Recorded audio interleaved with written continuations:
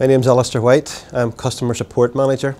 The company I work for is Chesapeake Pharmaceutical and Healthcare Packaging. I'm based in Belfast, Northern Ireland, but we are part of a group that is really a global organisation. My role within Chesapeake is Customer Support Manager. And that really just means that I liaise with the customer in terms of their needs in, uh, in relation to graphics. Uh, I'm responsible for ensuring that the customer gets what they want, when they want it, within budget. I first found out about Fresh through an internal email that I was sent where I was advised to have a look at this course, it may be of interest.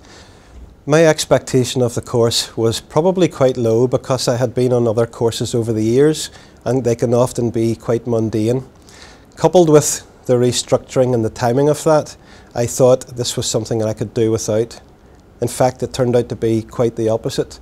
The course itself was very refreshing.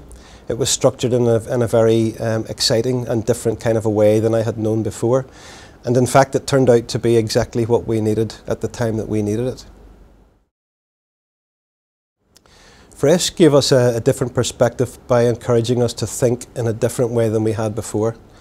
We were challenged to really get into the detail of our thought process. And the kind of things that we were asked to look at uh, were developing ideas from an initial design or thought concept and really just pushing the boundaries of the, of the design process, the innovation. Nothing was off the table, no idea was ridiculous.